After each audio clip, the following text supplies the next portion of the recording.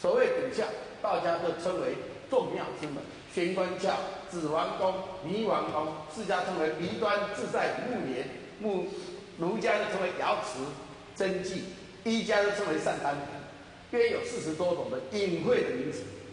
作者开章明义的指出，主教真迹，举世汉之，不得失传，言是暗中设佛。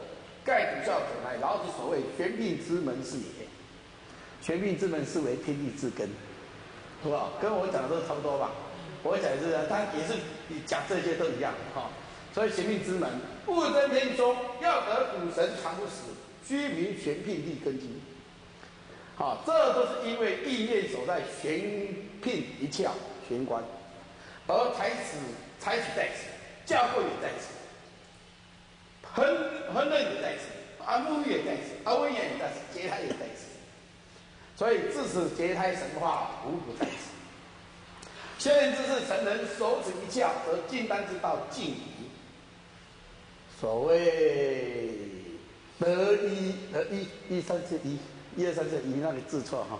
得一得一而万事必有，是也。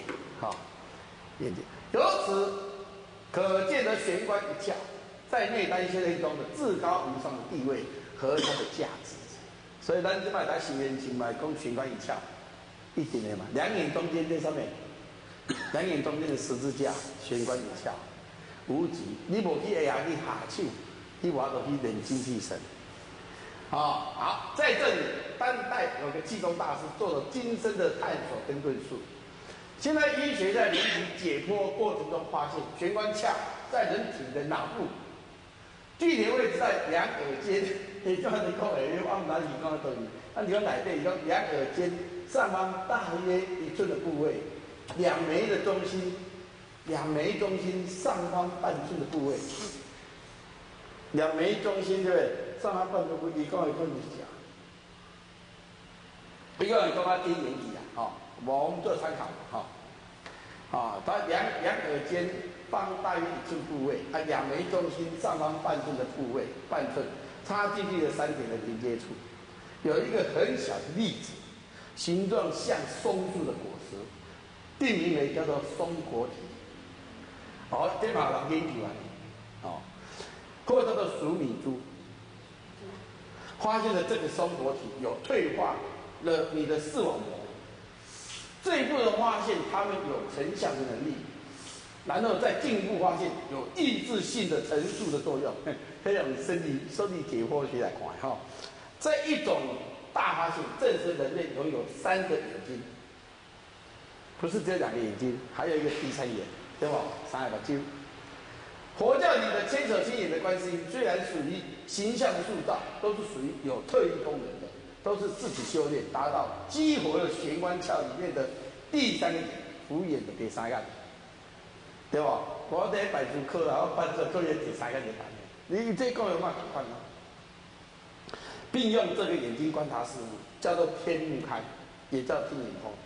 所以大家问我大家讲先开眼看，看我再讲，你你什么代志？就是安尼嘛。这是讲人难看，所以修你嘛是放心。你也连连起化身的，你嘛是叫境界。哦，所以他讲的很实在。好，包括说讲这个很值得我们来研究，就这。天眼通，就其表现类型来看，大致分为内视、透视、遥视、微视四种功能。内视可以看到地的以上六骨骼，又出现四种规律：异能光下，透视人的体，透视地下隐蔽物，透视可墙可物，透视遥视是遥人的，这几个也它发展过程。好，在古代天眼通人古代有，现代人也有。好，不是没有，这个电跟电视机一样。它可以遥控，可以看得到哈。现在很多人修炼眼功的时候，尽管一手上丹田，手玄关窍，搞得头昏脑胀，就其原因是身体素质太差，或足肌不牢，或者学者的东西太机械化，他们以为天眼功能出现，屏幕效应一定会在这里，其实不然，因而定因人而异，有的人看到东西，意下。看，有人是手上，有人是拿一面镜子看，图像就出现了。只要你修炼到特异功能出现时，眼睛稍微闭起来，意念闭在一个部位上，成交的部位就在那里，都是可见的不共基础玄关一窍，修到两个若红，就不能登堂入室。好，所以呢，这个单书重要著作讲儒道，哎，道儒释三家合一，性命双修，介绍内殿理论以及具体的功法，层层来解密，均有图文相配，把诗受诗受秘传和盘的托出，以成后来的有缘人。其行文则并世第六，洋洋洒洒，旁征博引，必说明而后止，虽三教杂陈，而大致属于道教。其图为制制作精工，布局优美，条线古朴，气韵生动，有为历来道书所不及，故有“道藏精华录题要”推崇备至，推崇这边姓名规则。所以话，这去北京白云观，你看，叫我看这个就好。好，你要看，这是姓名规则。清代著名的文学家尤同在其《姓名规则序》里头指出：“自其精要犹在啊，这是真义一说。一盖人生的真义是在真土，是为真土；动极而静，此亦属阴，是为己土；静极而动，此亦属阳，是为物土。练己土者得一日之功，练不土者得坎月之谦。”千拱以归金丹之间，不及者从土之下。思其有取于龟子之子乎？龟是两个土，不土跟什么？戊土跟该土，进了土龙地底啊，叫龟子，知无？啊，是以龟子能显《周易参同记》以及《黄庭经》不增篇，还有一个叫难道什么定？诶，咱做讲的什么？定无经哪有？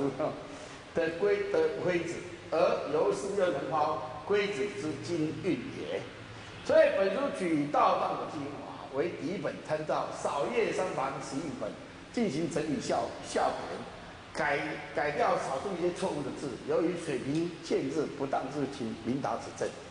在福建省的新闻出版局出版的，哈好，台湾的这跨界哈。